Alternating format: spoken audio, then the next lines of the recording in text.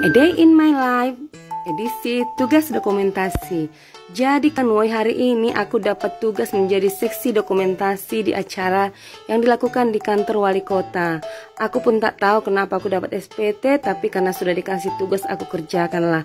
Karena kalau kita sudah dikasih tugas ya kan woi harus kita tanggung jawab sampai tuntas perkara hasil belakangan lah itu ya kan. Jadi ini adalah acara sosialisasi perwal wali kota tentang Bapak asuh anak stunting dan Bapak asuh anak berisiko stunting yang mana ini dihadiri oleh wali kota, DPR, Porkopimda, camat, Demikian juga kepala OPD yang ada di kota Pematang Siantar dan DPPKB tentunya itu adalah kami.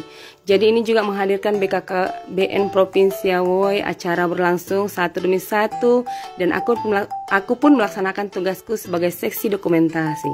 Jadi kan Woi Jadilah aku sambil menyelam minum air, sambil mengambil foto-foto, video, aku juga membuat dokumentasi untuk diriku sendiri, untuk membuat PT ini gitu loh.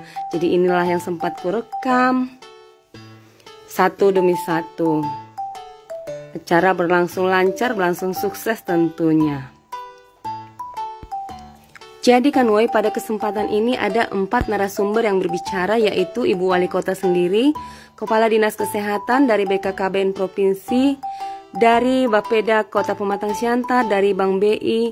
Jadi kan woi intinya percepatan penurunan stunting itu bukan kerja satu instansi saja ya atau hanya kerja pemerintah tetapi merupakan kerjasama uh, ataupun gotong royong dari berbagai pihak, bahkan termasuk masyarakat, pengusaha, di mana diharapkan semua pihak ber, berminat menjadi berminat apa namanya itu ya, mau menjadi bapak asuh stunting untuk menanggulangi permasalahan stunting yang ada di Indonesia dan kota Pematang Siantar pada khususnya.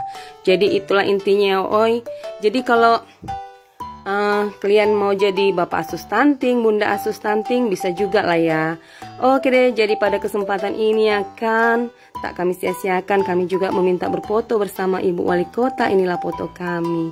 Oke, itulah ceritaku hari ini. Horas untuk kita semua.